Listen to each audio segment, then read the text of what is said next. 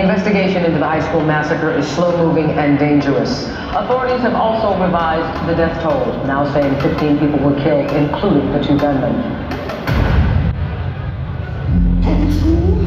Ground, two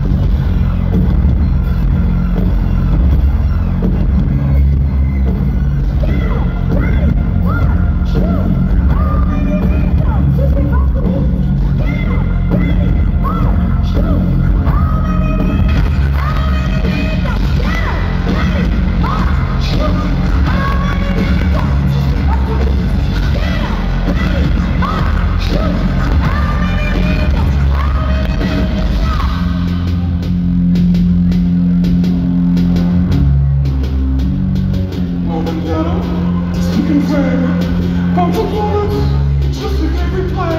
His Florence, it's fulfilled. It's all shots going on, click to the beat. We're shaking